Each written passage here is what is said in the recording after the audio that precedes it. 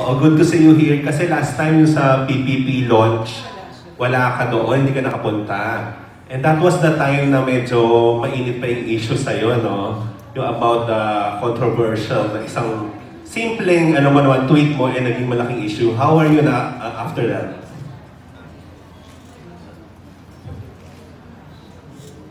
Um, I'm okay naman. I'm okay now after what happened. It was it was just for a week, you know. Um, normal naman yun sa industry, uh, yung mga bashing and um, so the only thing I can do is just keep silent and let it die out. So actually, ginawa ko, uh, I deleted my social media for a week. So it's kind of weird kasi parang yung character ko sa Wi-Fi for this movie, hindi siya nasa social media.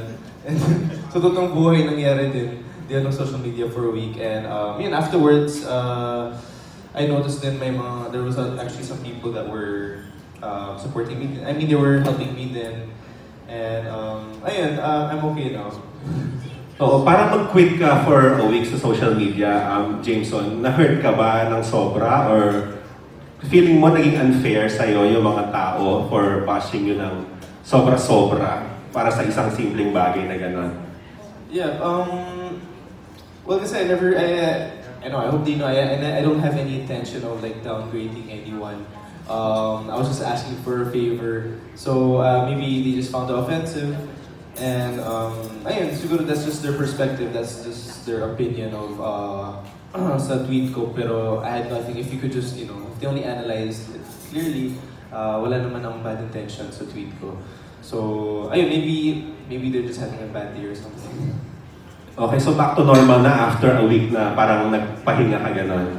Ah, yes. Um, well, after a week, well, actually, na-affected na ako. I mean, uh, first few days, medyo, I was feeling down. Uh, ayokong lumabas. Sa condo lang ako.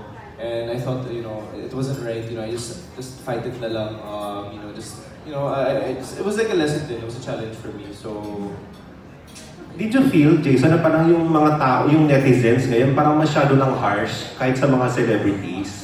Yung sobrang na makatira, na parang minsan sobrang, uh, ano na, um, the ganyan. Well, yes. I mean, there's more problems to focus on, diba? There's more social problems to think about, to, uh, I mean, to talk about, diba? There's other problems instead of like just fighting back uh, at, you know, us. We're still people, you know, just because na artists kami or celebrities kami, public figure, uh, yung mga ibang tao, they have the right to bash us like that. Eh, hindi dapat ganun. So, ayun, they should actually look at themselves muna before magsalita.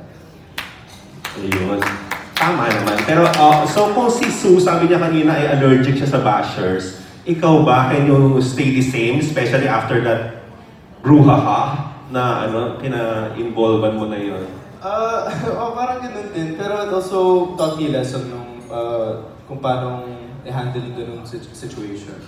So, since na, ayun, I you know, I haven't had a taste of that bashing from, from mga ibang tao. So, at least, ngayon, I'll just be more aware of what I'm gonna say.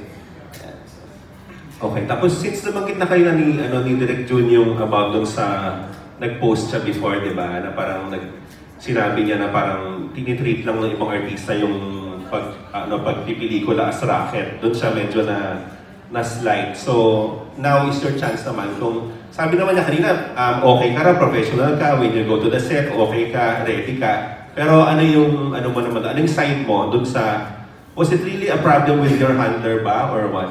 Um, yes, I think there was like a mis uh, communication with uh, kasi there was that time um that day when I had the shoot uh, parang I had a racket the next day I had a show sa Mindoro parang gano'n ata and then um, I had to leave early parang gano'n so I think it was just uh, parang it wasn't really organized well between the two schedules. So ayun kaya siguro ganun. So ngayon naayos na, hindi na nagkaka-problema about it. oh we're yeah we're okay now